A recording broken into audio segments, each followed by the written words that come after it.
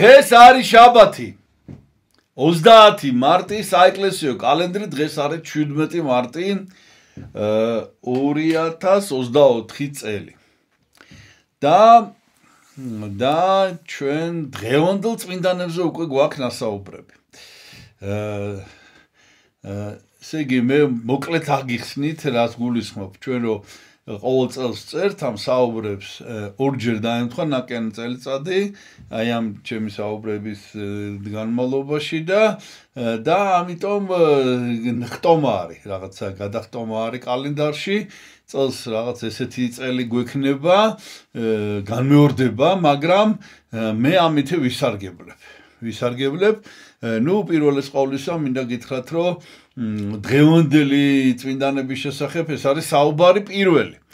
აი ამითი დავიწყეთ დღევანდელი დღით, პირველი საუბრით და რა თქმა უნდა შეიცვალა იმის მერე ბევრი რამ ინფორმაციულადაც და წმინდა ნაწილები ქონდა მაშინ მე გაჩვენეთ.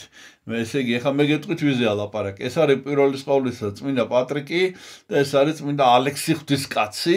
ჩვენ მათზე ვისაუბრეთ. ამიტომ მე ამ წმინდანებზე არ შევჩერდები ერთადერთი გაჩვენებთ ესე იგი თვითონ ამ წმინდანებს რაც შეეხება აი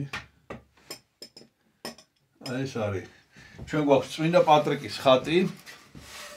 ჩვენ ქონდა წმინდა ნაწილი აი ხარით ნაცეცი პატრიკის წმინდა ნაწილი აქ არის ჩადებული და აი ესეთი დავით სულაკაური არის ხატვარი დავით იგივე არჩილი სულაკაური და აი პირდაპირ ესე იგი მას ქონდა რაღაც ჩინაგანი განცდა რომ აუცილებლად უნდა დაეხატა ეს ხატი წმინდა პატრიკის და აი დღეს გვაქვს. ესე იგი მე აღარ გავჩერდები წმინდა პატრიკის შესახებ. და ეხლა გაჩვენებთ კიდევ მეორეს გამოსახულებას.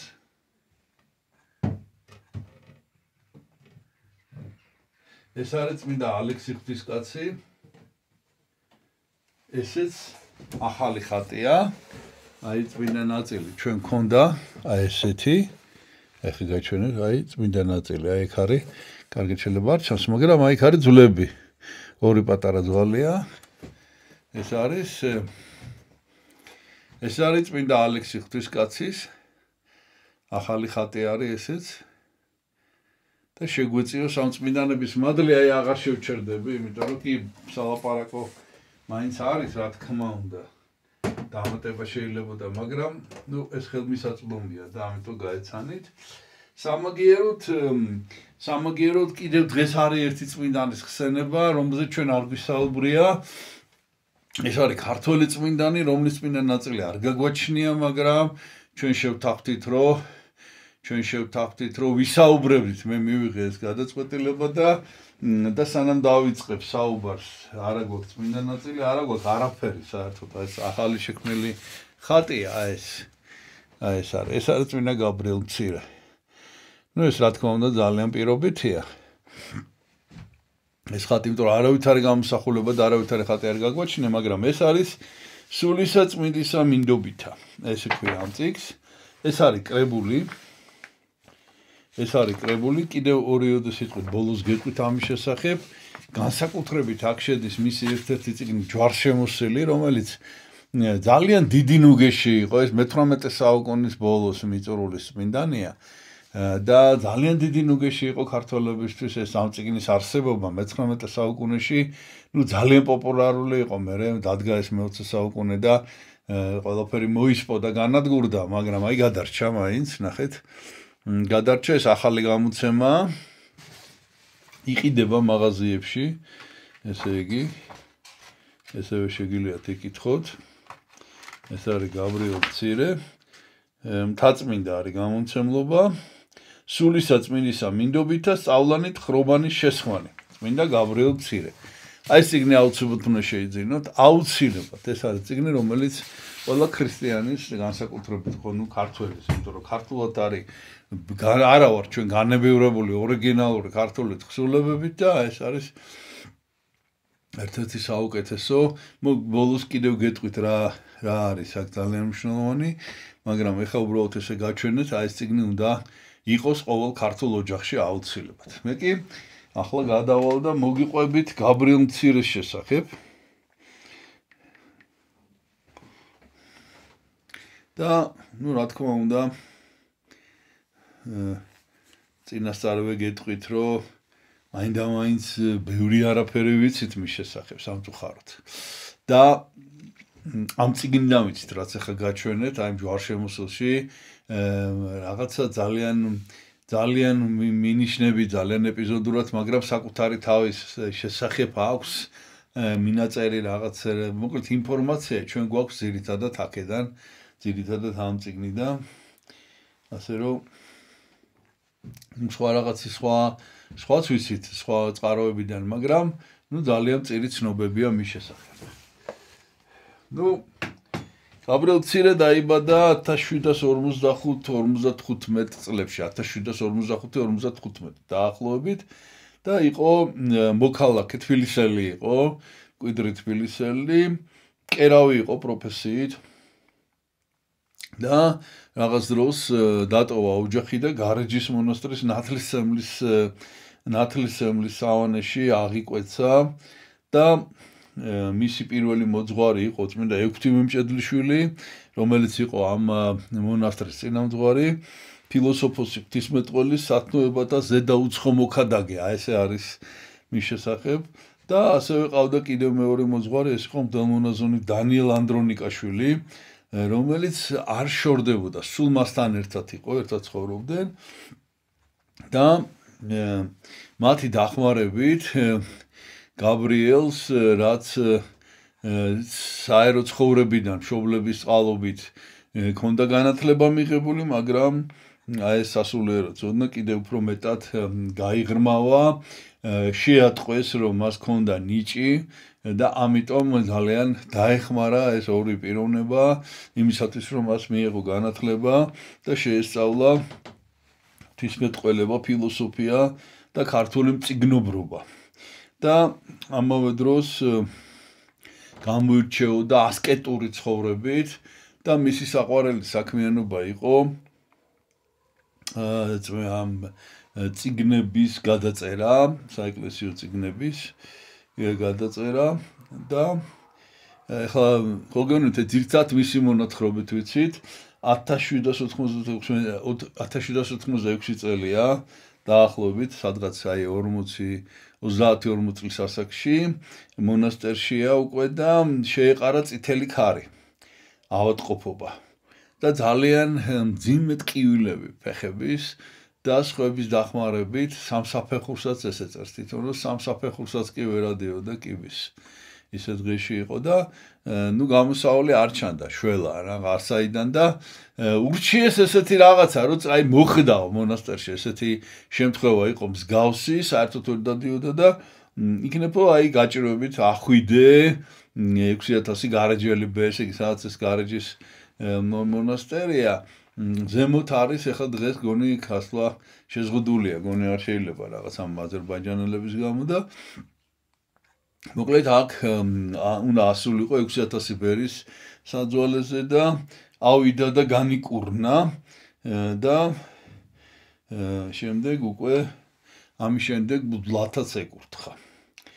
ну შემდეგ ესეთი რამე მოხდა კიდე ნახეთ ეხლა მე მის სასწაულებზე გიყვებით ესეთი რამე მოხდა, საშინელი რაღაცა არ წერია, რაღაც საშინელი სენი მოედო მონასტერ სენი გავრცელდა და ერთი ბერი კიდევაც ემსხვერპლა მოკვდა მაოტყოფობის გამო და გაბრიელმა ორი ბერი წაიყვანა მონასტრიდან ორი ძმა და ავიდნენ ისევ იმ საძვალეზე ზემოთ და ორი ნაწილი, ორი ძვალი ჩამოაბძანეს.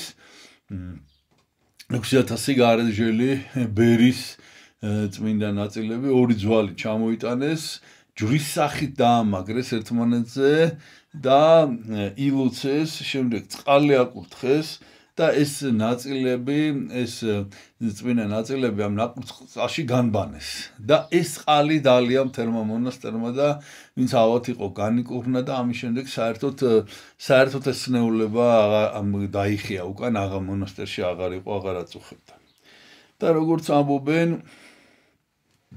როგორც ამბობენ, ესე იგი კიდე ბევრი სხვა სასწაული აქვს მოხდენილი გაბრიელ ცირეს შემდეგი მის ხოვრებაში შემდეგი თემა ეს არის რომ ძალიან ახლო ურთიერთობა ქონდა მეფე გიორგისთან საქართველოს ბოლო მეფესთან გიორგი მე-12-სთან და და ცნობილია რომ ძალიან ავად იყო გიორგი მე-12 საერთოდ ძალიან ღრმადმორწმუნე ადამიანი იყო ავად იყო და საიდუმლოდ სიონის ტაძარში დააკეტინა ეს ტაძარი და საიდუმლოდ გაათხრევინა გამოცხადება ქონდა და გაათხრევინა იონე მანგლელის საფლავი არის იქ უდიდეს წმინდანი ეს ქართველი იქ სიონში არის მის საფლავი გაათხრევინა ამოაბრძანებინა მისი წმინდა ნაწილები საოცარ სურნელებად დადგა ტაძარში და შეეხო ამ წმინდა ნაწილებს და და განიკურნა გიორგი მე-12 და აი ამას ესწრებოდა ამას ესწრებოდა გაბრიელ მცირე რომელმაც შემდეგ მე კიდევ 1779 წელს. ну ის საბედისე რომ 1795 1795 იცით. ესე იგი აღამახმათხანის შემოსევა ჩვენ ამაზე ბევრი გვისაუბრია და ამის შემდეგ, როდესაც ერეკლე გარდაიცვალა, გიორგი მე-12 გახდა მეფე და ესე იგი სულ ესე იგი ძალიან ახლო ურთიერთობა ჰქონდა 1779 წელს ჯერ კიდევ ღვთისმშობლის სასწაულთ მოგმელი ხატი მიერთვა, რომელიც შემდეგ გიორგი მეფის ძეს მიხეილს გადაეცა და ასევე მიმოწერა ქონდა გიორგი მე-12-ის ძმა ფარნაოსთან. მე თქვენ ახლა გაჩვენებთ უბრალოდ გაჩვენებთ აი გიორგი გიორგი მე-12-ის უცრავთ. აი ესე. აი ეს არის გიორგი მე-12 და ეს არის მისი მეუღლე მარიამი, მარიამ დედოფალი. ხედავთ ხო? აი ეს. ეს. ნუ ამ ადამიანებზე აა ალბათ ძალიან მნიშვნელოვანია კიდე ცალკე საუბარი. უდიდესი პიროვნება იყო გიორგი მე-12 და ძალიან არასწორი ინფორმაცია იყო გავრცელებული კომუნისტების დროს მის შესახებ.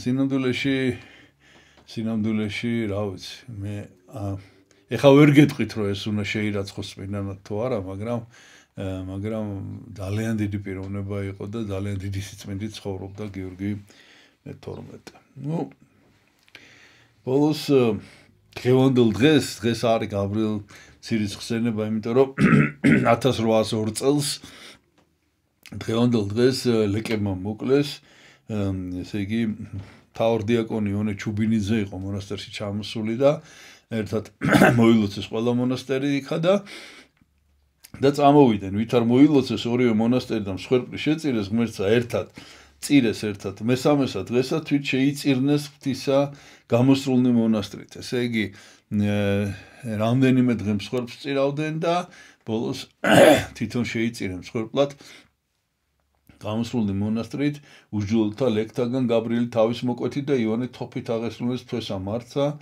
11-ს სამშაბათს. ну ნათლისმცემლის მონასტერში დაგრძელეს ღირსი გაბრიელი და მალევე 1815 წელს 3 აპრილს შერაცხეს წმინდანად. ну რაც შეეხება მის შემოქმედებას, მე მოგახსენეთ, რომ თავიდან იგი გადამწერი იყო და ქონდა ძალიან ლამაზი კალიგრაფია, ძალიან ლამაზი ხელი და დაკვეთით წერდა, თავიდან გადაწერდა, მე წერდა თვითონ თავის ციგნებს, ბაგრატი და ფარნავაზ ბატონიშვილები უკვე თავდნენ რუსთავის მთავარ ეპისკოპოსი სტეფანე და დაახლოებით ჩვენამდე მოაღწია 152-მა ხელნაწერმა მისმა. და მათ შორის არის იონე დამასკელის მოკლე წინამძღვარი ფრიდრიხ ქრისტიან ბაუმაისტერის საეთიკო ფილოსოფია ანტონ პირველი კათალიკოსის კატეგორია სიმეტნეი გრიგოლ ხრომტაპაპის დიალოგონი დიალოგები ანუ და პარაკლისტა კრებილი. იგი უბრალოდ გადამწერი არასოდეს ყოფილა ასწორებდა სულ რო ესე იგი თავის კორექტირებას უკეთებდა და ამარტივებდა ცოტათი რომ კითხველს ადვილად გაეგო. და ბოლოს მან თვითონ დაიწყო ასკეტურ ჰომილეტიკური, ანუ ქადაგებები, კრებულების შედგენა და ძირითადად რომელიც ეკლესიაში დასამუზროთ არის განკუთვნილი და თავებად და საკითხავებად დაყვა ეს რაც გაჩვენეთ ახლა მე თქვენ ეს ციგნი იმაზე გიყვებით. და მისი საკოლთაოდ პოპულარული ციგნები იყო მე-18 და მე-19 საუკუნეებში გვირგვინის ამოთხის ყვავილი, ოქროს წყარო, კლიტე, სუფევა, მანანა, სამასეული და ბოლოს მან დაწერა 1792 წელს მუდელმთავრისა ლიტურგიისა განმარტება, ის ამდელმთავრო წირვის განმარტება, სახისმეტყველებითი სულიერ ნითხრობენი, სულთა ღვთისმოყარეთანი, ამ წიგში შედის ეს ყველაფერი ცხოვრება და მოქალაქობა ღირსად ნეტარისა მამისა ჩვენისა სქიმონასონ ონისიფორესი და განმარტება მამაუშენოსი და განმარტება ბერათ აღკვეცის წესისა მაზარისა მოთხრობა პორფირისათვის პორფირი ეს მისი ეს ჯვარშემოსილი ეს ხზულება არის მსგავსი გრიგოლ დიოლოგოსის დიალოგ დიოლოგოს ხო იმიტომ ქვია ჩვენ ამაზე გვისაუბრა გრიგოლ რომთა პაპი ესე იგი ეს დიალოგები არის ის გრიგოლი ესაუბრება თავის დიაკონს პეტრეს. ეს კი ესაუბრება ზუსტად ასეთი კითხვა პასუხია ესაუბრება პორფირის და იმ პორფირის შესახებაც უწერია ვინ არის ეს პორფირი. და მოკლედ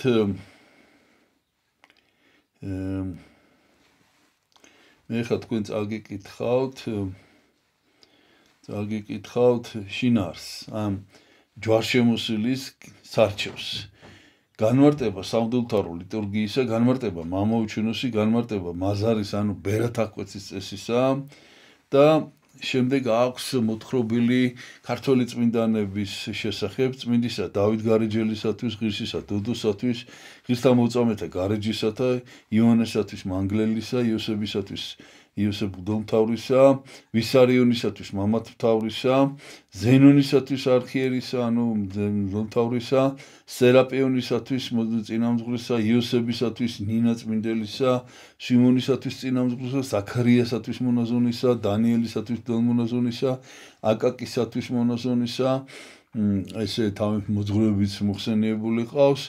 კერძო დიაკონისათვის, წინამძღვრისათვის, პატრიოტისა, კეთილისა და სათნოსა მოჩილისათვის, მონაზონისა, სენაკისა, აი ეს ახ რა არის, რა რას ნიშნავს ეს ყველაფერი? განმარტებითია და ზეცით ნათლის ხილოლისათვის, ნათლის ხილოლისათვის და ილარიონისათვის ღირსისა.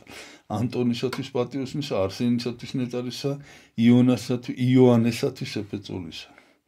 და ბოლოს აქვს აი ეს ონისიფორესი სქემონაზონი ორისფორის შესახებ და ბოლოს აი როგორც მოგახსენეთ პორფირის შესახებ. ეს არის ძირითადად ეს არის ძირითადად ну მეტი არც მინდა ნაწილი გვაქვს არც გამოსახულება. ეს არის გაბრიელ მცირის შესახებ და მე გადავდივარ ახლა შემდეგ წმინდანზე ოღონდ უნდა გითხრათ ესეც. ესე იგი როგორც მოგახსენეთ, აი დღევანდელი წმინდანები ეს არის, ორზენი გვისაუბრია, ერთი ეს გაბრიელ მცირეა და ამით დღევანდელი დღე, დღევანდელი შაბათი ამოიწურება, მაგრამ აი სწორედ ამის გამო მე ვისარგებლე და იმის გამო რომ კალენდარი კალენდარი ესე იგი აი ესეთი სვანეირია მოკლედ გახტომა გქ ჩვენ ყოველ შაბათს ყოველი ახალი შაბათი მთელი ამ წლების განმავლობაში ერთით გადავინაცვლებდით ხოლმე და წინა აი თქვა წინა წელს რაც პარასკევი იყო მეორე წელს შაბათი იყო ხოლმე. ეხლა გადავხდით და ამიტომ გამოგვითავისუფლდა დრო. ამიტომ მე მოგიყვებით პირველ რიგში ხომ მოგიყვეთ სხვა წმინდანების შესახებ. ეს არის წინა კვირას იყო ვისი ხსენებაც, ეს არის 11 მარტი საეკლესიო კალენდრით. დღეს არის დღეს არის საეკლესიო კალენდრით 17 მარტი და წინა შაბათს ხო ვისაუბრეთ ჩვენ 10 მარტს, მაგრამ აი 11 მარტი კვირა დღე, წინა კვირა. არ გვისაუბრია და კიდევ ესე იგი ხარ ვარ გესაუბროთ, მე რამდენიმე წელი გადაიწევს და და ან 11 მარტის წმინდანების შესახებ. მინდა გითხრათ, ანუ ეხლა მე თქვენ მოგიყვებით 11 მარტის წორი წმინდანის შესახებ, უბრალოდ ერთი წმინდანის შესახებ, მაინდა მაინც კი არა, საერთოდ არაფერი არ აქვს მოსაყოლი. ესე იგი ეს არის ეს არის წმინდა კონსტანტინე. აი წმინდა ნაწილები გაგვაჩნია. კონსტანტინე კართაგენელი ეს უნდა გაჩვენოთ. აი როგორია. და რომის მარტიროლოგში წერია მარტო ისო 11 მარტს იყო მისი 11 მარტს არის მისი ხსენება. მეტი არაფერი არ წერია საერთოდ. სამგერთ ეხა გადავდივარ და აი თავარი მიზეზი რამაც განაპირობა ესე იგი ეს აზრი რომ თქვენ დღეს უნდა მოგიყვეთ სხვა წმინდანების შესახებ აი ეს არის სწორედ ну ეკლესიის ისტორიაში ერთ-ერთი უდიდესი წმინდანი. ну უდიდესი წმინდანი ეს არის და ჩვენთვისაც ძალიან მნიშვნელოვანი ქართველებისთვის ეს არის წმინდა სოფრონი იერუსალიმის პატრიარქი. წმინდა სოფრონი იერუსალიმელი, აი ამის შესახებ მინდა რომ მოგიყვეთ და წინასწარ ჩვენთვის რატო ამ მნიშვნელოვანი ამას გეტყვით წინასწარ და მე დავიწყოთ უდიდესი პიროვნების შესახებ საუბარი, ეს არის მისი მოძღვარი. და ის ვინც მის პიროვნებად ჩამოყალიბებაში და სასულიერო პირად ჩამოყალიბებაში ძალიან დიდი როლი შეასრულა ეს არის წმინდა იოანე მოსხი წმინდა იოანე მოსხი ლიმონარის ავტორი უდიდესი წმინდანი რომელიც მოღვაწეობდა იერუსალიმში და არა მარტო არა მარტო ის გაიცნეს ერთმანეთი და შემდეგ ფაქტიურად შეიძლება ითქვას, რომ იონე მოსხმა მთელი ცხოვრება მიუძღვნა სოფრონის პიროვნებად ჩამოყალიბებას და რატო? აქ არის რაღაცა გასაოცარი ამბავი. გასაოცარი ამბავი ის, რომ წმინდა სოფრონის ცხოვრება, ესე იგი, პირობითად ორ ნაწილად იყოფა. ერთი ნაწილი ეს არის, როდესაც იგი აი იონე მოსხთან ერთად მოგზაურობდა და აი რასაკეთებდნენ ახლა მოგიყვებით ამას ყველაფერს. და სულიერ გამოცდილებას იძენდა. ბევრი წელი გაატარეს ეს ერთად. და მეორე ნაწილი მისი ცხოვრების ღვთის განგებით, ესე იგი, ეს არის პიროვნება, რომელიც გამოირჩია უფალმა და სხვათა შორის ესე წერია მის ცხოვრებაში, რომ ღმერთის წინასწარ ჭრეტან თუ ღმერთის განგება როგორც როგორც აი ნუ ღმერთ უფალმა სული წმინდამ ჩვენ ესე ვამთხოვ, აი გამოირჩია სული წმინდა.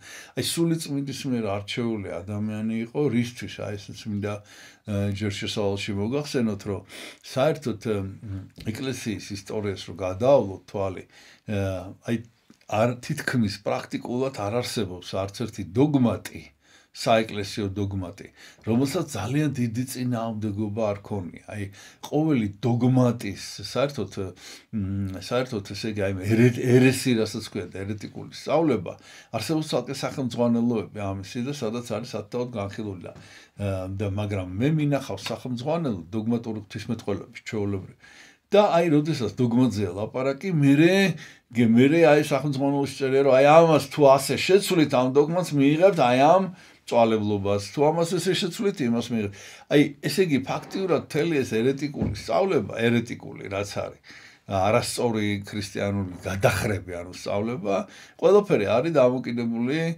დოგმატებზე და დოგმატის არასწორ გაგებაზე რა. ხო და ესე იგი თითქმის ყველა დოგმატს და ნებისმიერ დოგმას ქონია განსხვავებული პოზიცია სხვა ვიღაც პიროვნებების მიერ მწვალებლები ამას მწვალება სიტყვა ჩვენთვის სხვანაირად ჟღერს ქართველებისთვის მწვალებასთან არის დაკავშირებული მაგრამ მწვალება ნიშნავს ქართულად მე ადრესი მითხოს განწვალებაი განწვალება ნიშნავს გაყოფას. ანუ აი მაგალითად მარცვლები რო დაყაროთ, ერთად კარგი მაგალითია, მაგალითად ბრინჯის და პურის, ხო? აი ხორბალი და ბრინჯი რო დაყაროთ და მე გამოაცალკევოთ ერთმანეთსაგან. აი მას ქვია რომ განწვალეთ.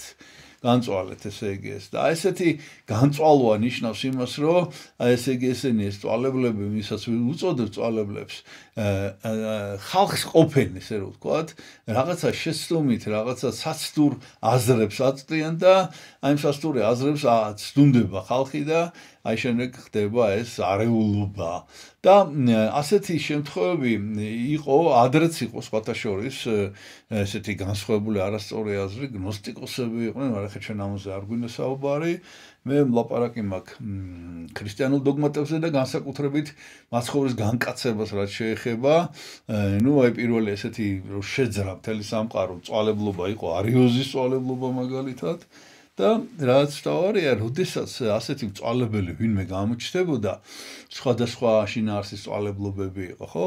ყოველთვის გამოაჩენდა უფალი ვიღაც ერთს განსაკუთრებულ პიროვნებას, რომელიც აი თალი არსებით იცავდა შემდეგ ესე იგი მართმადებლობას თუნდაც იცოცხლის ფასად. მაგალითად არიოზის მწვალებლობა, როცა მოედო მე-4 საუკუნეში მთელს ქრისტიანულ სამყაროს უფალმა გამოაჩინა ათანასე, რომელიც ჯერ კიდევ პირველ საეკლესიო კრებაზე, სოფლიო კრებაზე დიაკონი იყო და შემდეგ გახდა ათანასე ალექსანდრიის პატრიარქი.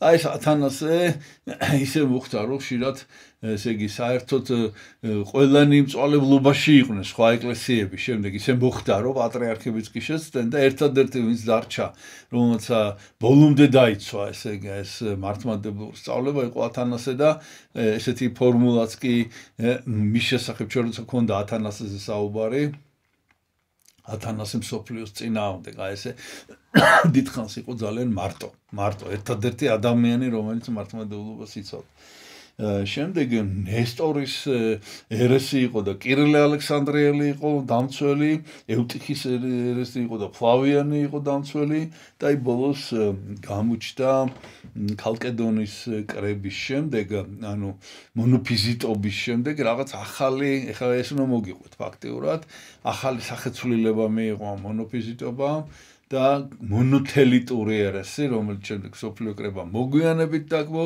მაგრამ აი როგორც კი გამოჩნდა ეს მონოთელიტური ერესი, საშიშროება არსებობდა, რომ ყველა პატრიარქებზეა ლაპარაკი, აი ალექსანდრიის პატრიარქი, კონსტანტინოპოლის პატრიარქი, რომის პაპი, რომელიც ამათმა შეაცდინეს, წარმოიდგინეთ, რომი იყო ხოლმე ძირითადად, რომელიც იცავდა აღსარებლობის სიწმინდეს და ეხლა ეს რომიც მოყვა ამ გაუგებრობაში და და ესე იგი აი ეს გამოჩნდა ერთადერთი ადამიანი სოფრონი რომელიც აი თავგამოდები მიხვდა ის ჩაწოდა აი ზუსტად იმის გამო რომ მან წინასწარ ესეთი ცხოვრება გაიარა და ეხლა ეს უნდა მოგიყვე ჯერ დავიწყოთ აქედან რა ცხოვრება გაიარა და და შემდეგ აი ეს მიხვდა და ამიტომ მთელი არსებით იცავდა მართლმადიდებლობას და დამარცხდა ბოლოს ვერავინ ვერ დაარწმუნა ოღონ ჯერ წარმოიდგინეთ, ჯერ საერთოდ დიდხანს არის კაცი იყო, მე ბერი იყო უბრალოდ და ესე დადიოდა თელესოფლიო იცნობდა უკვე მაშინდელი და ვერ დაარწმუნა და რატო ვერ დაარწმუნა? ამასაც გეტყვით და ბოლოს წავიდა დაბრუნდა თავის მონასტერში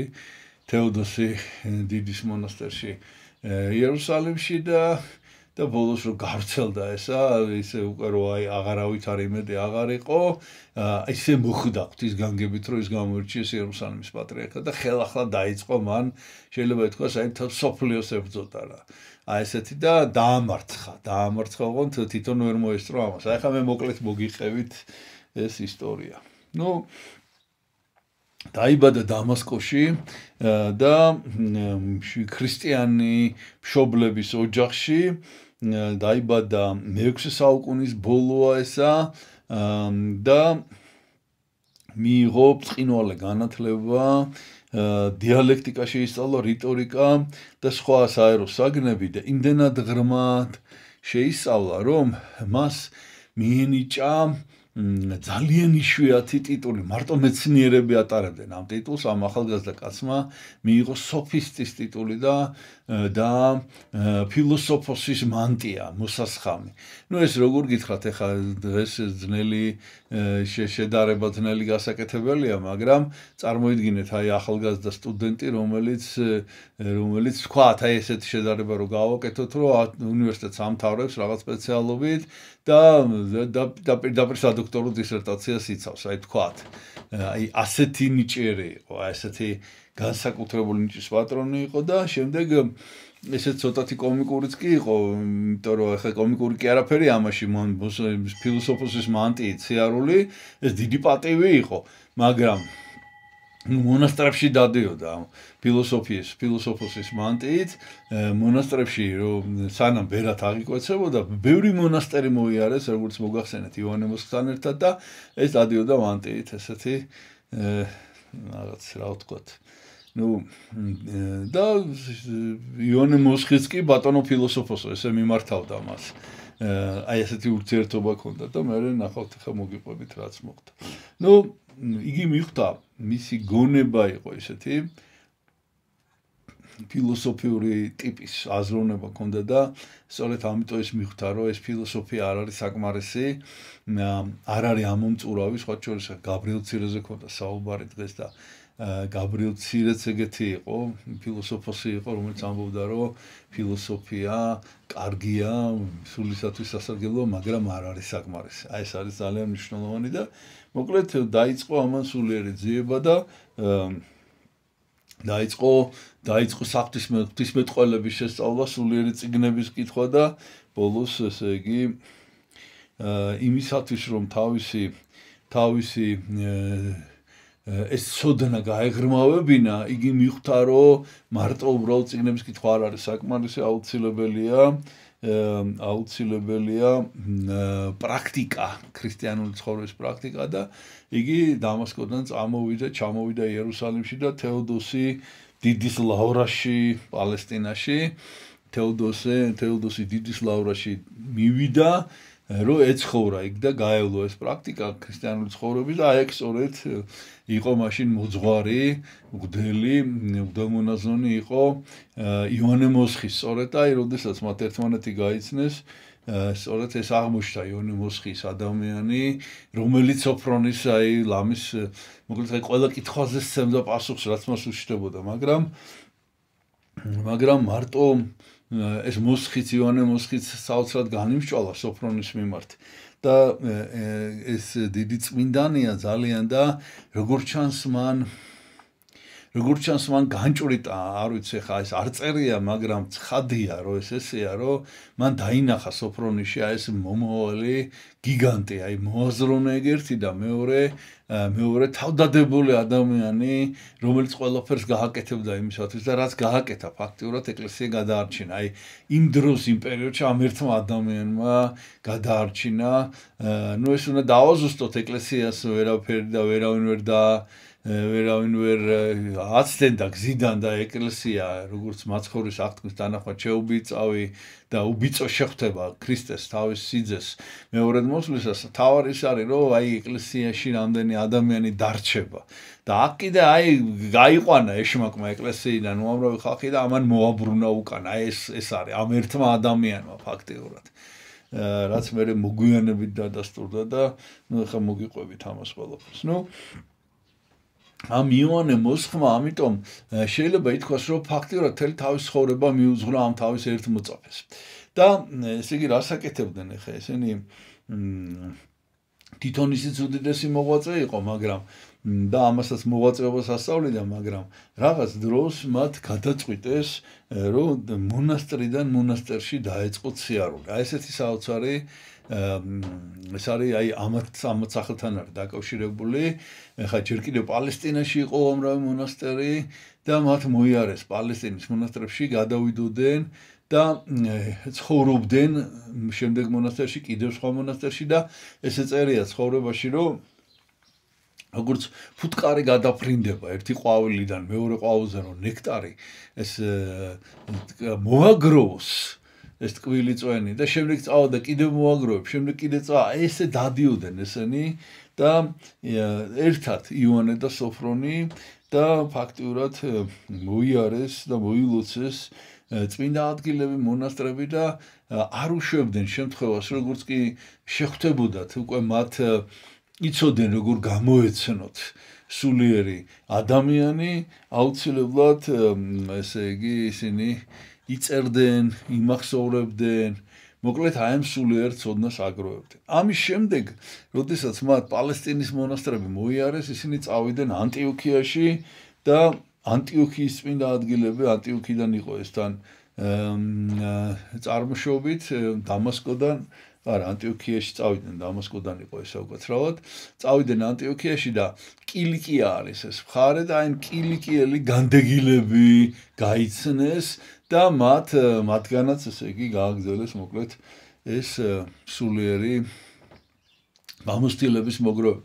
ამის შემდეგ აქ სინამდვილეში გარკვეულწილად იმასთანაც არის დაკავშირებული, რომ ეს ის პერიოდია, როდესაც მუსლიმანური სამყარო ძალიან უშე გაჩნდა ქვეყანაზე, შემდეგ გაძლიერდა და დაპყრობით ომებს აწარმოებენ და გარკვეულწილად ამასთანაც იყო კავშირი, მაგრამ მაინც იონემ უთხრა იონემ მოსხმა ადრეს ფათაშორის სანამ გაიცნობდა სოფრონის იონე მოსხი გააგზავნეს მონასტრიდან რაღაც დავალებით ეგვიპტეში. გააგზავნეს დავალებით იქ რაღაც მონასტერში და მან მაშინ მოახერხა და ნახა რას ნიშნავს ეგვიპტელი ბერები როგორები არიან, როგორ მოღვაწეობენ და დაიმახსოვრა ეს კარგად და აი ხა როდესაც დრო დადგა სოფრონის უშესთავაზა ერთად ასვლა ეგვიპტეში და ესენი გაანგზავნენ ეგვიპტეში და ესენი არის ის მონასტრები, რომლებიც უდიდესმა ეს ცოტა გვიან არის დროში, მაგრამ ანტონი დიდი, მაკარი დიდი, პახუმი დიდი, მათი მონასტრები, მათ მიერ დაარსებული მონასტრები, აი აქ ჩადიოდნენ, ჯერ კიდევ მე მომეცა ბედნიერება იმისა, რომ ეგვიპტეში აი სწორედ ეს მონასტრები მომენახულებინა, თუმცა რა თქმა უნდა, ეს მონასტრები დღეს სრულებით სხვანაირია, იმიტომ რომ დიდხანს წყვეტა ქონდათ მათ, გვიან აღდგენილია და სწორედ იმათ ხელშია დღეს ეს მონასტრები ვის ვისაც ვისაც ეს სოფრონი ვისაც ამხილებდა. ანუ ეს არის ძირთად მონოფიზიტები და მონოთელიტები. ხო და აი მათ ხელშია მაგრამ მიუხედავად ამისა მინდა გითხრათ რომ ძალიან შთამბეჭდავი აი ეს მადლი რომელიც დატოვეს ამ უდიდესმა მოღვაწეებმა ეს ძველი მონასტრები არსებობს დღემდე იქა და პაისი დიდის მონასტერი არსებობს, აი ეს მაკარის, პავლეთებელის და მინდა გითხრათ, რომ არ ვიცი, აი რაღაცა განსაკუთრებული განსაკუთრებული არის ეს მონასტერები და ძალიან შთამბეჭდავი, ძალიან მკაცრად მოღვაწე ბერები ცხოვრობენ დღეს იქ. და მე რა თქმა უნდა მათთან საუბრის საშუალება არ მომეცა, იმიტომ რომ ისინი დიდად კოპტურად ლაპარაკობენ და იშვიათად რომ ვიღაცას ინგლისური იცოდეს, რომ ცოტათი რაღაც დაელაპარაკო, მაგრამ მაგრამ მიუხედავად ამისა ძალიან შთამბეჭდავია დღესაც კი და წარმოიდგინეთ ახლა მაშინ რა იქნებოდა როცა ეს ჯერ კიდევ ცოცხალი იყო ეს ყველაფერი როდესაც ეს უწყვეტი ტრადიცია იყო ამ წმინდა მამებთან და მოკლედ ამათმა მოიარეს ეს ეგვიპტის მონასტრები და და იქ ერთხელაც რაღაც ავოდ გახდა. ეს დადიოდა ისე როგორც მოგახსენეთ თავისი ფილოსოფოსის მანტი ცოფრონ ხო და ნუ მიდიოდნენ რჩებოდნენ მონასტრებში და ერთ-ერთ ავად გახდა რაღაც ძალიან და ერთ-ერთმა ბერმა აი პირდაპირ უთხრა იქ რომ შენ უნდა ბერათ აღიკვეცო და ნუ ეს იყო პირდაპირ ნიშანი და და რა თქმა უნდა სოფრონი მიიღო ეს გამოწვევა და იონე მოსხმა აკვეცა იგი ბერათ და ამის შემდეგ უკვე გააგრძელეს გააგრძელეს ესე იგი თავიანთი სვლა ეს გამოჯამთლდა და აა ნუ ჩამოთვლილი არის ამ ცხოვრებაში სახელები ვისაც შეხვდნენ ეს არის პალადიუსი ეს არის თეოდორე ეს არის ზოილე ეს არის კოზმა რომელიც აი ამ მონასტრებში მოღვაწეობდნენ და მოკლედ მათ გააგზელეს ეს თავიანთი შემდეგ კიდევ ესეთ ესეთ ასაკო ვერსიო ხდენ მოძღვართ მოძღვარი ესე უწოდებდნენ. 80 წელი გაატარა უდაბნოში და აი ასეთ ადამიანებთან კონდოთ მათ ურთიერთობა და ესე იგი აა აი სულიერი ცხოვრების გაზიარება. და ნახეთ რა მოხდა.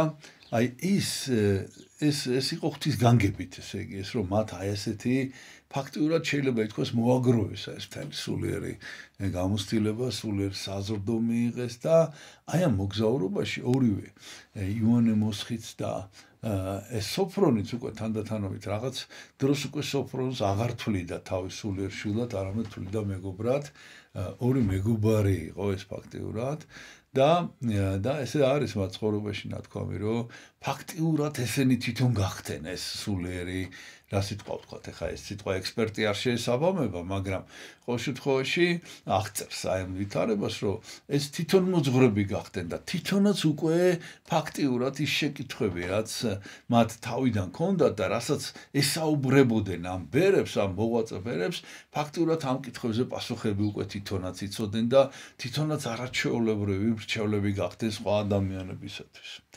და ეს განგებით ესე იგი ეს სოფრონი იზრდებოდა აი ესეთ პირობებში ჩამოყალიბდა პიროვნებად იმიტომ რომ მას შემდეგ უკვე ძალიან დიდი მისია უნდა შეესრულებინა კაცობრიობის კაცობრიობის წინაშე. ბოლოს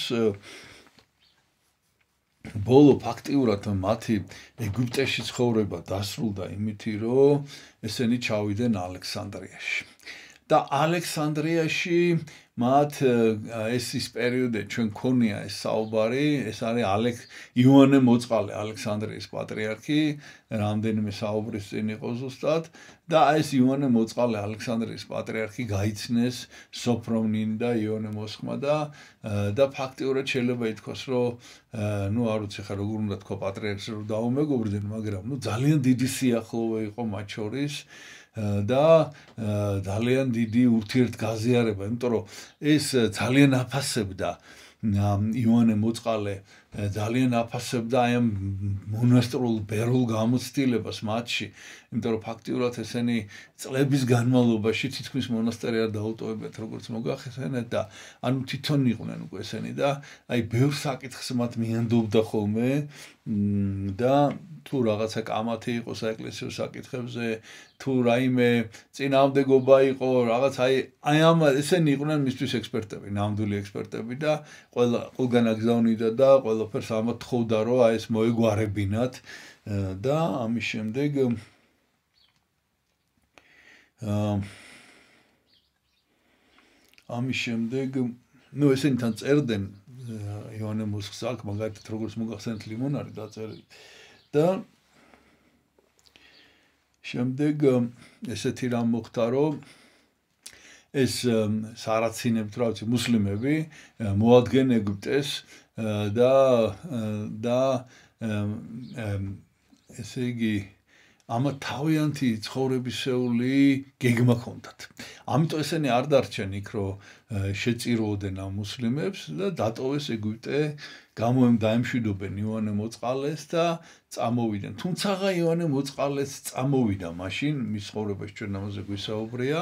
ალექსანდრია დატოვა მრევლის თხოვნი და წავიდა თავის სამშობლოში კვიპროსზე.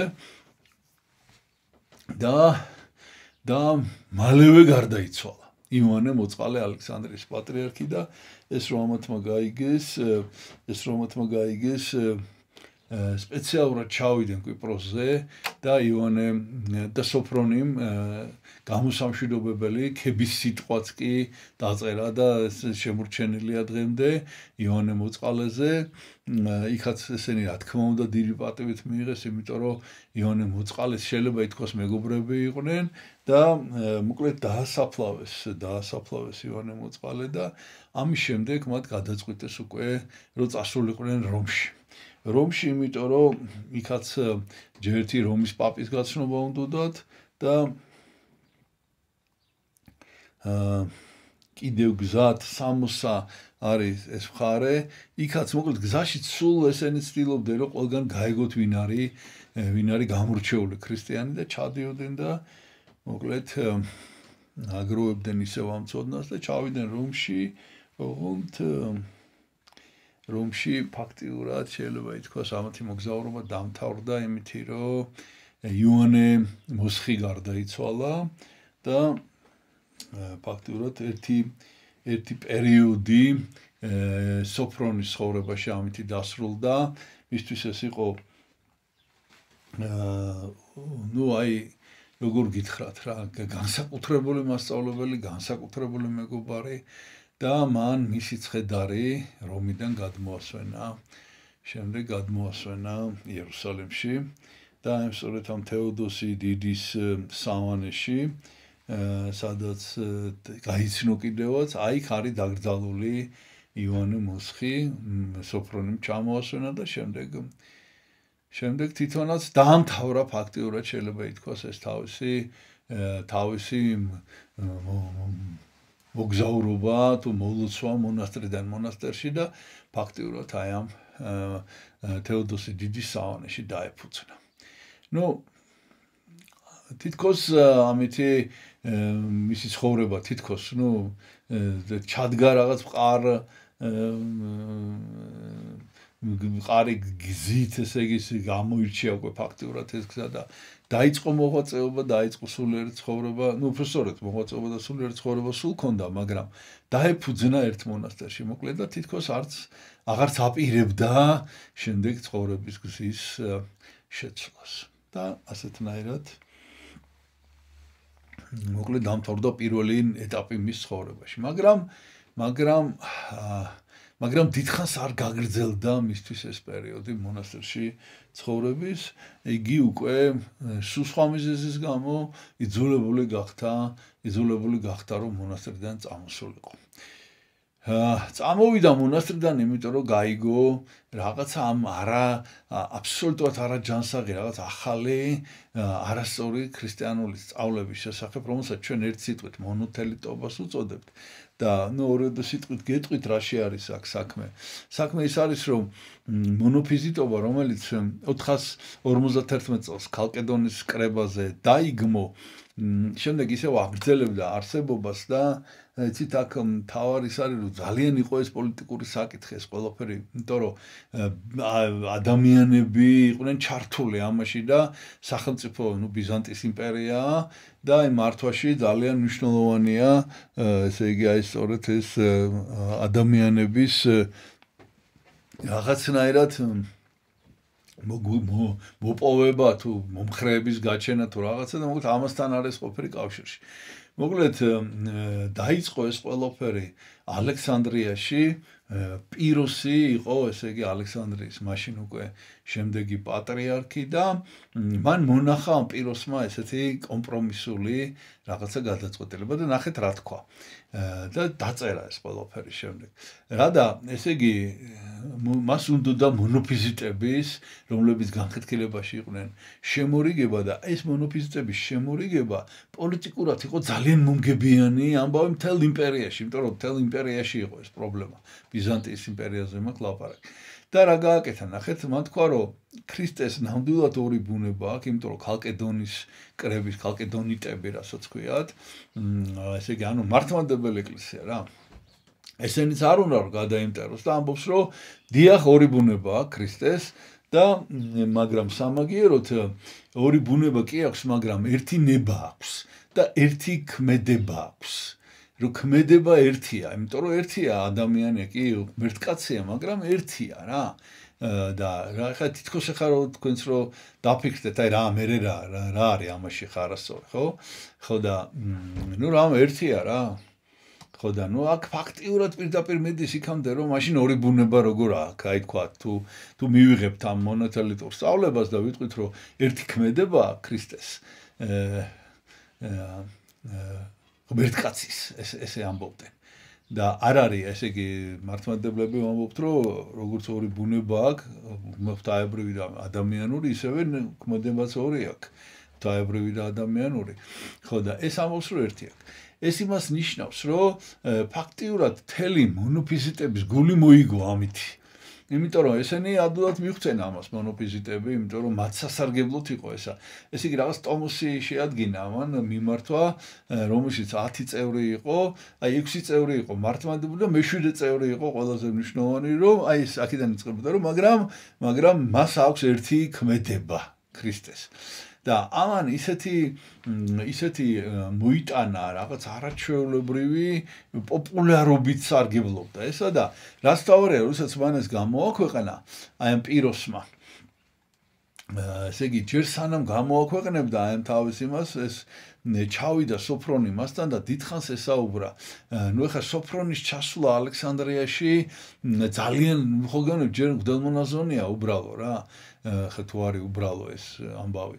ხო და ჩავიდა ბერია, ჩავიდა ანტიოქიაში, მაგრამ ანტიუკაცრავად ალექსანდრიაში, მაგრამ ისეთი ისეთი პოპულარობით სარგებლობს თვითონ ეს იმიტომ რომ ნუ წარმოიდგინეთ გარდა იმისა რომ ყველა მონასტერში ნამყოფია და ეს ეგვიპტური გამოცდილება მიღებული გარდა ამისა კიდე იოანე მოწყალე რომელიც ნუ დიდესი პატრიარქი იყო ანტიოქიის ალექსანდრიის და ყველა პატრიარქის და აი მისი მეგობარი ვინც დაასაფლავა იოანე მოწყალე ის ჩამოვიდა და ნუ რაღაცა არჩეულობის შეხვედრა მოუწყეს ყველგან სადაც მიდიოდა ძალიან ცნობილი პიროვნება იყო და მათ შორის მათ შორის აი ეს პატრიარქი პიროსი ну მიიღო დიდი პატივით რაღაცა თან ამ პიროსაც იმედი აქვს რომ თუ ეს დაუჭერს ხარს ხო საერთოდ ესე იგი ეს ამის ერთი ადამიანის თანხმობას დიდი მნიშვნელობა აქვს ამ სოფრონის და ეს სოფრონი მივიდა და ფეხებში ჩაუვარდა აი მუხლებზე კოცნიდა ესე წერა და ცრემლებით დაუსვლა ფეხები და ეხვეწებოდა რომ ოღონდ ეს არ გააკეთო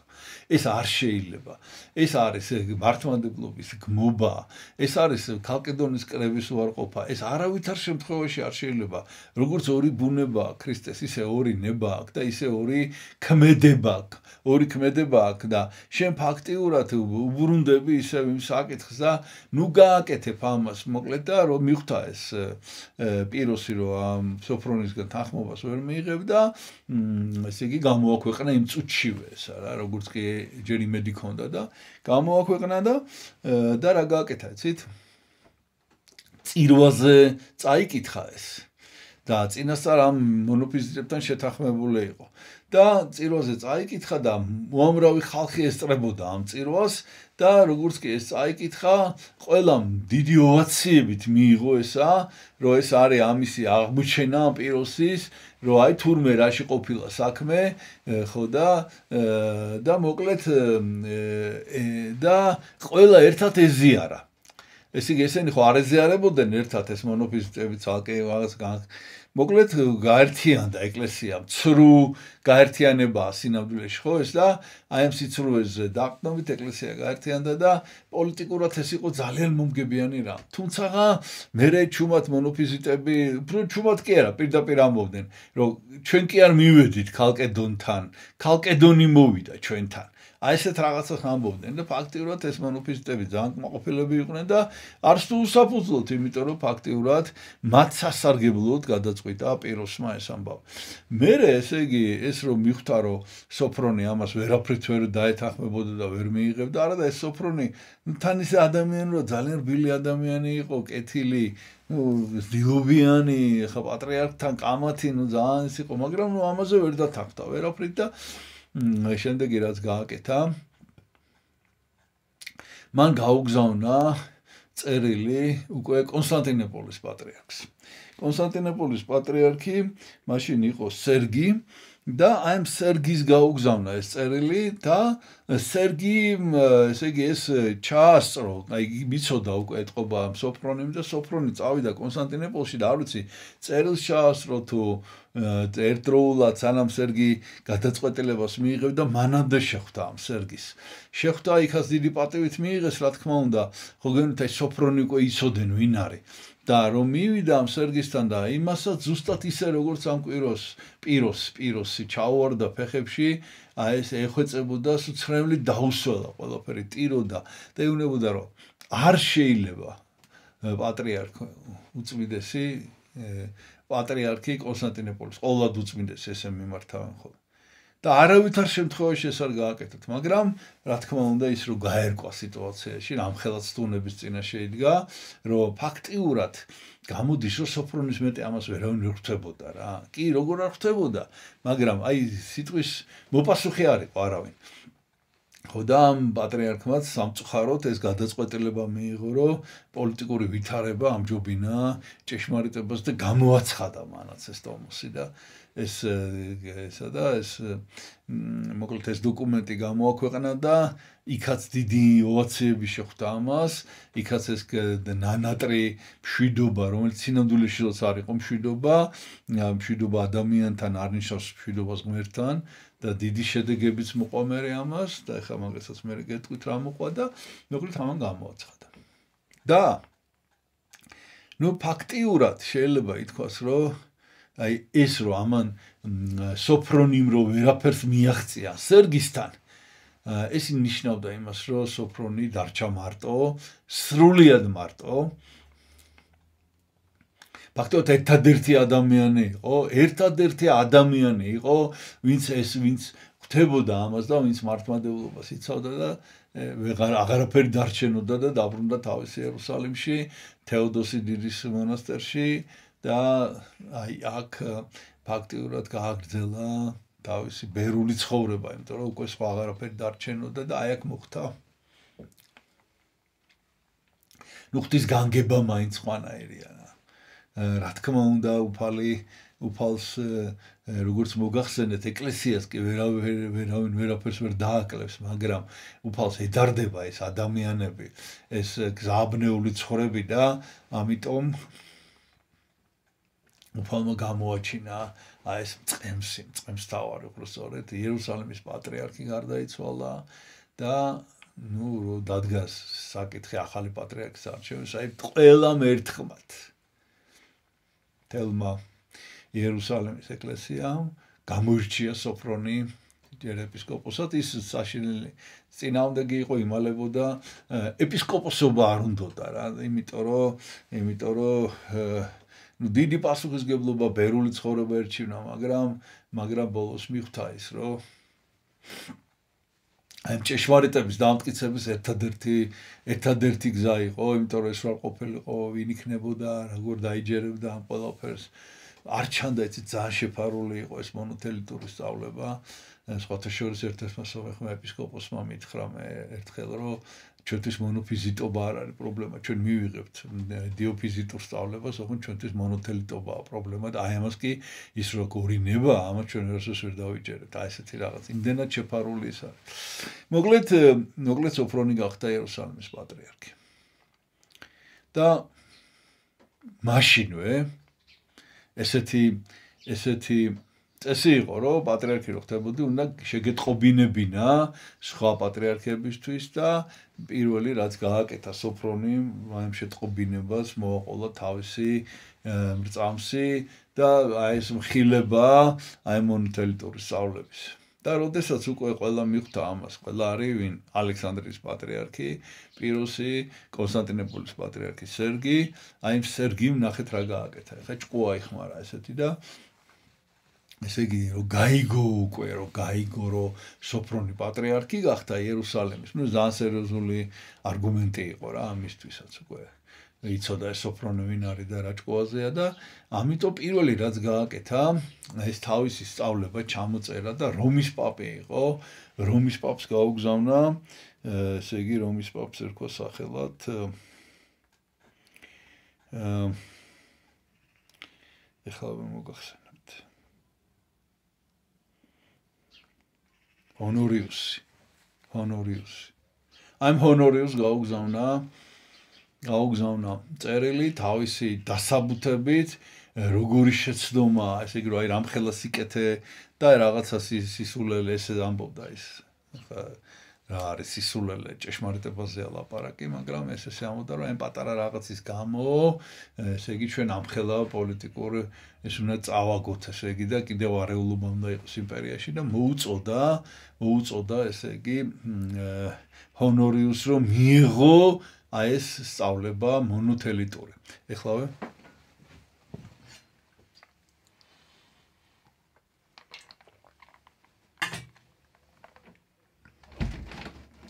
ნუ ჰონორიუსი ვერ აღმოჩნდა ის პიროვნება. ვერ აღმოჩნდა ის პიროვნება, რომელიც განჭრეტდა ამას ყოველფერს და რა შედეგები შეიძლება და ამას მოყოლოდა რომ ეკლესია ესე გადასულიყო გაის სხვა სწავლებაზე და ჰონორიუსმა მიუ და სერგის პოზიცია გაიზიარა სერგის და იმ კვიროსის ხო და პიროსის და ეხა აქ ძალიან ძიმე ვითარება შეიქმნა აღარ იცოდა სოფრონის რა გაეკეთებინა. რომ გამოაცხადა ემა რომის პაპმა რომ ეთანხმება ამ სწავლებას.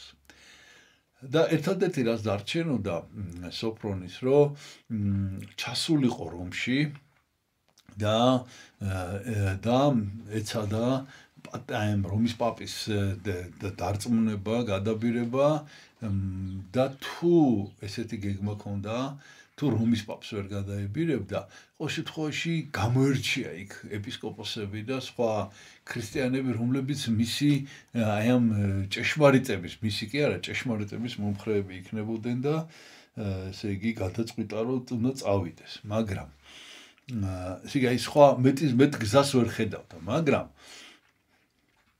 მაგრამ ამ შემთხვევაში კიდევ ახალი ფაქტორი ეს ძალიან ძლიერი ფაქტორი იყო მუსლიმების შემოწევის ფაქტორი და ეს მუსლიმები მოადგენ იერუსალიმს. და ეხლა უკვე ის პერიოდია, რომ ეს მუსლიმები, მოკლედ ამათი თავდასხმა მოსალოდნელი და პატრიარქი ასე დროს ქვეყანას ვერ დატოვებს.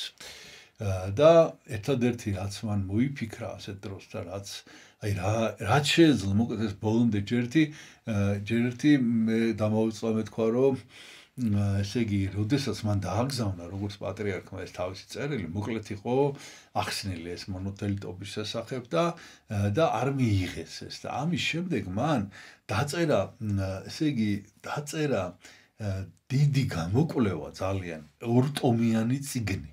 დაწერა მაშინ ახლა მოგეხსენებათ ამ ციგნების ბეჭდვა არ არსებობდა და ეს ყველაფერი ძალიან რთული იყო და დაწერა ეს ციგნი სადაც 600 არგუმენტი მოიყვანა წმინდა მამების თხზულებები და საფრთხე წერილიდან იმის შესახებ რომ არ შეიძლება ეს იქ საქმე ის არის რომ სახარებაში არსად არ წერია რომ იესოს ერთი ქმედება ქონდა თუ ორი ქმედება და ამიტომ მამას ჭირდებოდა რაღაცა ძალიან სერიოზული დასაბუთება და საფრთხელი ხო დაასაბუთა და მე წმინდა მამების ღრულებებიდან მოიყვანა ის რაც პირდაპირ ამტკიცებდა იმას და ეს იყო 600 მტკიცებულება წარმოიდგინეთ 600 მტკიცებულება და ეს ციგნები დააგზავნა განსაკუთრებულ ადგილებში პატრიარქებს დაუგზავნა ეპისკოპოსებს დაუგზავნა ეხლა ციგნიც თითო ერთი ციგნი ძალიან ძვირფასია წარმოიდგინეთ ხელნაწერი ციგნი რა არის ეხლა და ესე იყო მაშინაც და მოკლედ დააგზავნა ეს ციგნები. მაგრამ მიხვდა რომ ესეც არ არის საკმარისი ამ ციგნების დაგზავნა და გადაწყვიტა მოკლედ იერუსალიმში ჩავიდეს და ნუ ყოველ შემთხვევაში მომხრეები, მომხრეები შეკრიბოს ერთად. და აი ამ დროს მოადგენ ეს მუსლიმები იერუსალიმს ძალიან ძიმე ვითარება და ვერტოვებს. ესე იგი და ბოლოს მოიფიქრა ესეთი ესეთი რამ, ну იერუსალიმის ეკლესიაში რა თქმა უნდა სრული მხარდაჭერა ჰქონდა მას. და მოიწვია უპირატესი ეპისკოპოსი ვინც იყო დორიის ეპისკოპოსი სტეფანე და ну ესე ძალიან ღირსეული პიროვნება და მოკლედ სტეფანეს უთხრა რომ სტეფანე უნდა დაენიშნა ელჩად. ელჩობა დაავალა, რომ უნდა ჩასულიყო რომში. და უნდა არ ვიცი რა უნდა გაეკეთებინა და უნდა დაერწმუნებინა. აა დაერწმუნებინა ყველა იმაში, რომ არ შეიძლება ესე ღალატი აი ჭეშმარიტი აღსარებობის. და რა გააკეთა, იცით, საოცარი სტრა გააკეთა, მე თვითონ სტეფანე წერდა, რომ რაღაცა აი ესეთი აი მოგიყვებით უბრალოდ, ისეთი პასუხისგებლობა დააკისრა. რომ ის ვერ თელ ცხოვრება შეშინებული იყო. რა გააკეთა, იცით? იერუსალიმის პატრიარქია. ხა თან და როგორი პატრიარქი, ხო? სოფრონია რა, აი დღემდე ესე იგი, ნუ აი წინავს მისი სახელი რა. აი სოფრონი იერუსალიმის პატრიარქმა მიიყვანა ეს სტეფანე გოლგოთასთან. დააყენა ამ გოლგოთასთან და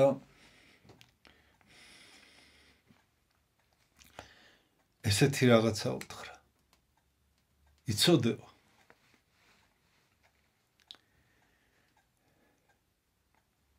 აუცილებლად დადგება დრო და შენ ამ ადგილზე დაბრუნდებიო და ამ ადგილზე მოგიწევს პასუხის გაცემა. როდესაც როდესაც უფალი მოვა განჯა ცხოთა და მკვდართა აი შენ ზუსტად აქ ამ ადგილზე მოგიწევს ყველა კითხვაზე პასუხის გაცემა და თუ შენ არ გააკეთებ ყველაფერს რაც შეგიძლია და რაც არ შეგიძლია რომ მისი წმინდა აი ეს ქრისტეს რწმენა ქრისტეს წმენის სიწმინდე აი ეს გადაარჩინო წადი და აღასრულე ის, რისი გაკეთებაც მე არ შემიძლია.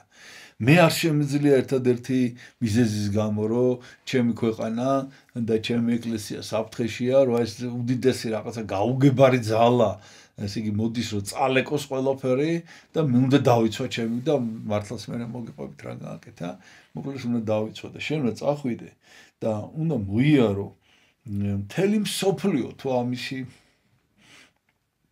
აუცილებლობა იქნება ყველა დაბრკოლება უნდა გადალახო რომელიც ბევრი იქნება და უნდა ჩააღწიო რომში.